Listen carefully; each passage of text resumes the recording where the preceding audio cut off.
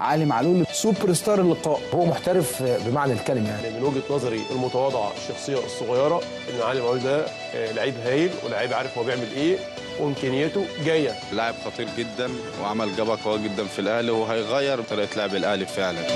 علي معلول مواليد 1 جانفي 1990 بمدينة صفاقس. الخطة ظهير أيسر. علي معلول ملاعبي متكون في شبان النادي الصفاقسي. 2009 يلتحق بفريق الأكابر. ويبدأ مشوار الظهور وافتكاك المكان في التشكيلة الأساسية للفريق. مع مرور الأعوام يثبت الظهير الأيسر أنه عنده مخزون كروي كبير ويبين مهاراته وخاصة نزعته الهجومية اللي تعتبر من أهم خصاله الفنية مع تنفيذ الكرات الثابتة وضربات الجزاء. 2014-2015 علي معلول ياخذ شارة القيادة في ال CSS الكابيتان. موسم 2015-2016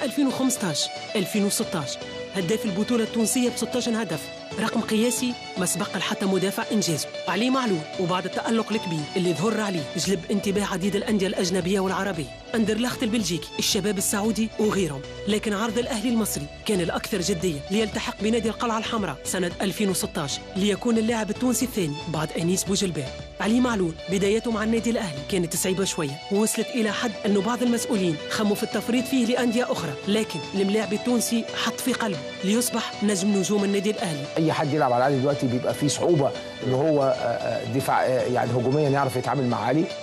مباراة تونس ومصر في رادس كانت فارقة في اقتلاع مكانه الأساسي في تشكيلة نادي القرن. علي معلول الدليفري النجم التونسي أحسن باك شمال في إفريقيا. يا بخت اللي عنده علولو علولو.